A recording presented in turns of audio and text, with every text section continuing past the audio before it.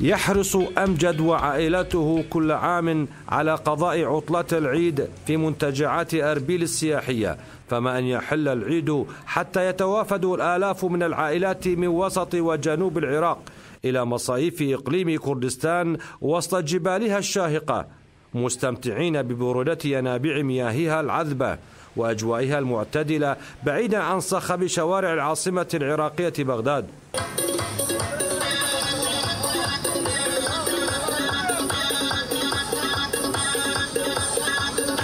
الجو حار تعرف. بغداد درجة الحرارة توصل للخمسين للواحد وخمسين. هنا لا الجو حلو آه، درجة الحرارة حلوة عشرينات خمسة وعشرين ثلاثة وعشرين بالليل.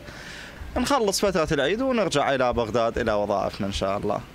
وليس بعيدا عن أمجد وعائلته تكاد أن تكون المنقلة والجمر الوسيلة الوحيدة لشواء لحم الأضحية وكذلك صنع الشاي والقهوة. في هذه المنتجعات السياحية.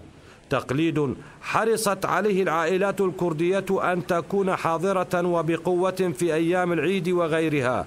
من المناسبات كما يفعل كاكا عمر وزوجته دنيا خان. نأتي إلى هنا أنا وزوجتي في الأعياد والمناسبات خاصة في الصيف. نبيت في هذا المكان. بصراحة أجواء أربيل جدا حارة بعكس الأجواء هنا جدا جميلة وآمنة. تغص جبال إقليم كردستان بالمحتفلين بعيد الأضحى المبارك.